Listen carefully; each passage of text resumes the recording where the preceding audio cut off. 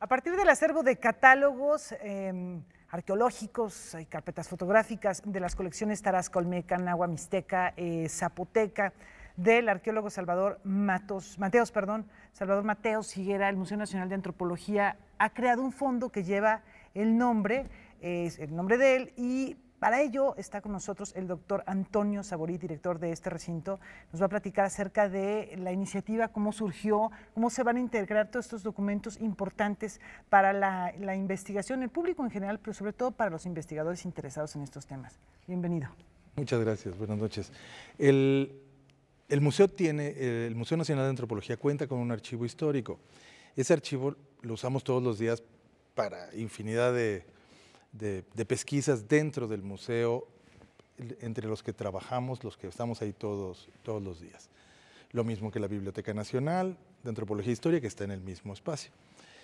Eh, en el archivo, en este archivo histórico, hemos, hemos ido con mucha suerte reuniendo fondos personales de historiadores, arqueólogos mexicanos, eh, que de alguna manera tuvieron algo que ver con, la vida del museo, en algún momento. Hace un par de años recibimos la donación de los libros y un buen número de documentos y fotografías de eh, Jesús Galindo y Villa. Ya están para la consulta, para su uso en, el archivo. Y atraído por esto, porque lo dimos, lo dimos a conocer, con toda deliberación, se acercó a nosotros don Alfonso Mateos Velasco, hijo, hijo de Salvador, de, hijo de, Salvador, Mateos. Higuera. Y entonces tiene en su casa todo, todo, todos los papeles de su, de su padre, todo todos los manuscritos, fotografías, dibujos, libros, todo lo que a lo largo de una vida acumuló y construyó y se acercó a nosotros con la, muy, muy sensata intención de, bueno, que esto esté en un lugar público y que sea accesible a los estudiosos, a los interesados en la historia de la, de la, arqueología, de la historia de nuestra historia, la historia de las colecciones del museo. Y eso es lo que, lo que dimos a conocer ayer, la creación de este, de este fondo que tiene que ver con pues, una de las colecciones más importantes del Museo Nacional de Antropología. ¿Cuáles serían las características, digamos, las mayores aportaciones de este fondo? No sé si ya se, revisó ampliamente o a qué profundidad, qué tan ordenado se encuentra, en qué condiciones se encuentra, pero sí me imagino que ya detectaron algunos elementos valiosos, ¿no? Los, los catálogos se realizan periódicamente, así como los procesos de restauración son periódicos en, alguna pieza, los procesos de catalogación también son periódicos. Este, uno de los catálogos que donó el, eh, hijo de Mateo Siguera es el catálogo que realizaron entre él y Alfonso Caso de la colección arqueológica en el viejo museo, en Moneda 13, al principio de los años 40. Entonces tenemos aquí lo que, el inventario de lo que existía en aquel museo para esa, para esa época. Eh, ¿Cuál es la, cuál es la, novedad, el atractivo, el, que tiene esto, e, este, este, este catálogo? ¿Es una copia al carbón de la, de la otra? Sí, salvo que de, eh, Mateo Siguera añadió una fotografía de, cada objeto cosa que no tenemos en el catálogo que está en el Museo Nacional de Antropología. Entonces ahora vamos a poder cruzar la eh, información, y tener una, tener una, ah, bueno, una idea mucho más precisa de lo ¿Cómo era? ¿Cómo estaba? ¿Cómo, cómo fue? ¿no? Mm, bueno, Iván, bueno, eh, es que... Las piezas. El, decía Salvador Novo, para que tengan una, una idea, que cuando se inauguró el Museo Nacional de Antropología, que en la sala mexica del nuevo museo cabe el viejo museo de Moneda 13, para que se imaginen cómo estaban las cosas en, en, ese, en aquel querido Museo Nacional.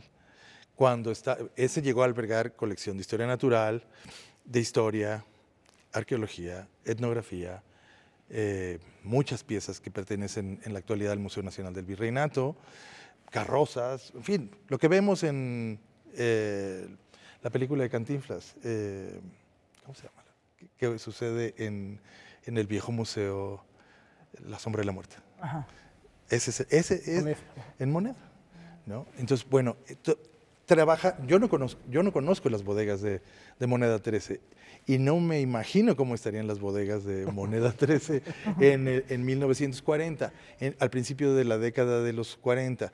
Es un momento interesante porque se funda el Instituto Nacional de Antropología e Historia en el 39 y de inmediato se funda el Museo Nacional de Historia, el Castillo de Chapultepec, y la colección de historia de- del museo, del viejo museo, migra a Chapultepec. El museo se abrirá varios años después, una vez que estén puestas en su lugar las colecciones y se haga un discurso museográfico, etc.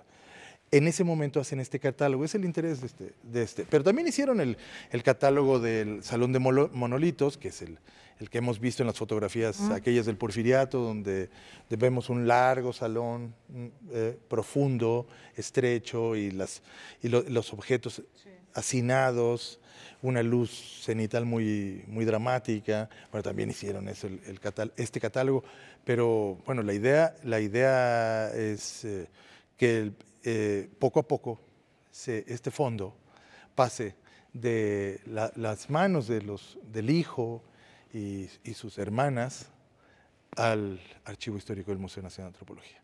Entonces, eh, pues estamos muy contentos porque eso enriquece el acervo del museo. Podríamos decir entonces que don Salvador fue un visionario hasta cierto punto al eh, capturar estas imágenes y de alguna manera enriquecer este archivo. Así es, además tenía un inclín por lo visual muy, muy interesante. Él dejó inéditos nueve tomos de una enciclopedia visual.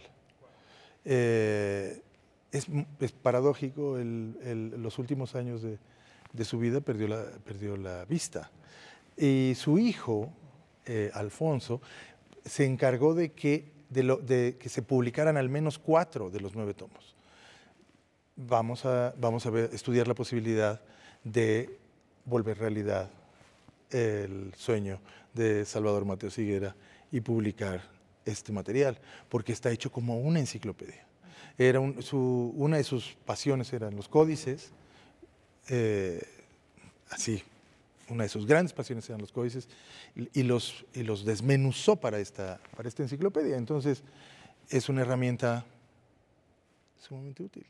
Además vinculado con todo un grupo de, de- pioneros, de iniciadores, de ahora eh, pensando en cómo eran esas museografías eh, efectivamente tra- teatrales, ¿no? Con, con un sentido quizá menos didáctico. eh, había pues otra, otra vinculación con el público, otra percepción del público. ¿Cómo se ha transformado eso? ¿no? La museografía, la catalogación, la curaduría. eh, Manuel Otón de Mendizábal, por ejemplo, mencionabas a, Alfonso Caso estas figuras que recrearon eh, la, la forma de acercarnos a, a la, a la arqueología y a, la- y a nuestros acervos históricos. Todos ellos eh, tienen algo en común, ¿no? la mayor parte de ellos tienen algo en común, que ninguno de ellos empezó como arqueólogo o como antropólogo.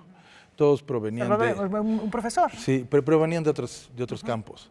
¿no? Eh, todavía el- nuestro país habría de necesitar algún tiempo para que egresaran de, de la Escuela Nacional de Antropología los primeros profesionistas en estos, en estos, en estos campos. ¿no? Los avatares. Sí, Pero es fascinante y celebramos de verdad esta inclusión al archivo, al acervo del Museo de Antropología y recordar y reiterar que es para el público, está ahí para que se visite, para que se conozca y ahora enriquecido con esta nueva adquisición. De verdad, Antonio, lo celebramos y te agradecemos mucho que nos acompañes esta noche. no, pues muchas gracias a ustedes por ayudarnos Felicidades. a propagar esto. No, hay que darse una vuelta al Museo de Antropología en este momento. Bueno, ya ahorita lo cerraron, mañana temprano.